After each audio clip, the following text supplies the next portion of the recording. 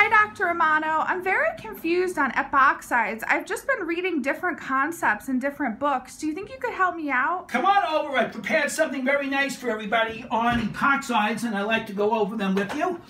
Um, the first thing I want to do is to let's look at how to name an epoxide. The first thing I'm going to do in naming an epoxide is to call position number one the oxygen.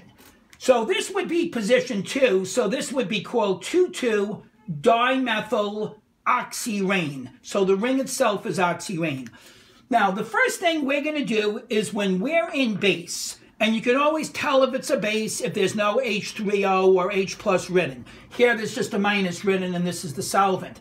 So in base, the rule is simple. We're going to simply do an SN2 reaction, and we're going to attack that carbon that is least sterically hindered. And that would be this carbon here. So what I would do is I would mentally think I just cut the molecule like this. The oxygen gets the H and the nucleophile attacks on and adds on OCH3 to the side. So that's pretty straightforward. And of course, because you did an SN2, if this happened to be a chiral carbon, then you would have got the inversion. But here, we don't have to worry about that. Now let's look at the second example. Things have changed. We're now in acid because of the H3O+. plus. You have two different carbons. One carbon on the right side, as you can see, is substituted with two R groups. Here's the rule we're going to bring into the dot. The rule we're going to bring in is the more substituted carbon gets hit by the nucleophile in acid. So since that's the more substituted side, that's the side that breaks, and the O, of course, gets the H, and I add on the nucleophile. So I hope you can see, um, to settle anything, in acid, go to the most substituted side, add the nucleophile. In base, go to the least substituted side and add the nucleophile. I want to just discuss with you the logic here. This bond here and this bond here are not equal in strength. If you look in the beginning of this bond, if this bond is breaking, and that would put a positive charge on this carbon. And as you can see, it sort of reminds me of a primary-like carbocation. Notice the carbocation is not fully formed, but it's beginning to form. And I put a plus charge on this carbon. Whereas if you go to this bond and you look at the transition state and that bond is breaking, this carbon is sort of like a tertiary. Now, since the tertiary is more stable, it's more likely to form. So that is reflected in the bond strength. This bond is weaker. So that's a weaker bond. So in other words, that's the bond that's going to be easier for you to break. So in this medium, you would first protonate, of course, the, the O, and then this is the group that would begin to leave. I use the word SN1-like in acid. It's not a true SN1 for two reasons. One, the carbocation is not fully formed.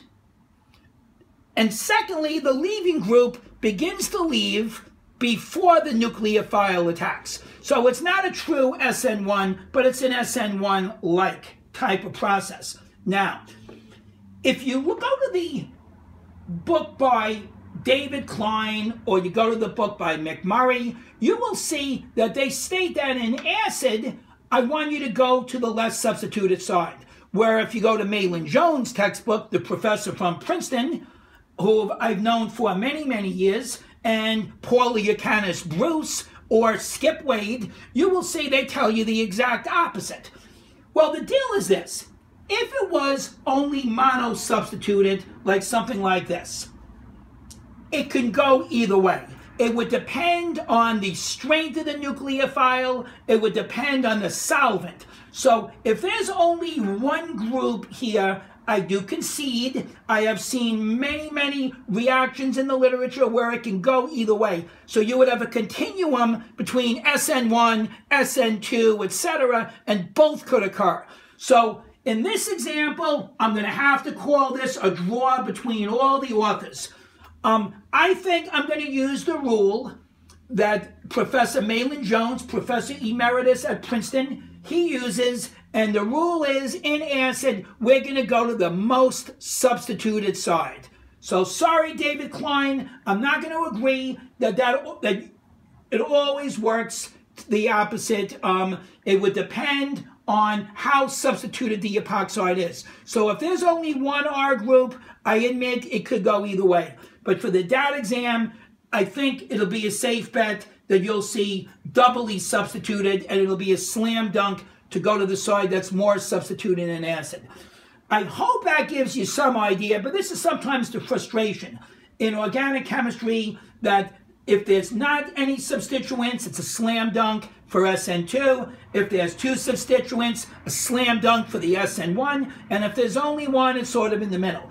Let me show you one final problem that I did for you on the board, and let's see if we could go about solving it. In this example, I give you 2-ethyl 2-methyl oxirane. Now, I treat it with a Grignard and then work up with H3O+. plus. Alexandra, do you think we're an acid or base? Acid. Now, let's think about this. That's what most students say, but that's a wrong answer. The acid is not till the second step. The first step is a Grignard, and a Grignard is not only a nucleophile, but it's a powerful base. So what we're going to do, if it's a base, we're going to go to the most substituted side. So there's your two carbons. We have an H here, an H. There's the ethyl. There's the methyl. And as you can see, when I break it, I'm going to break it right here. So I'm going to add the CH3 to here, and this gets the H, and that would be the final product.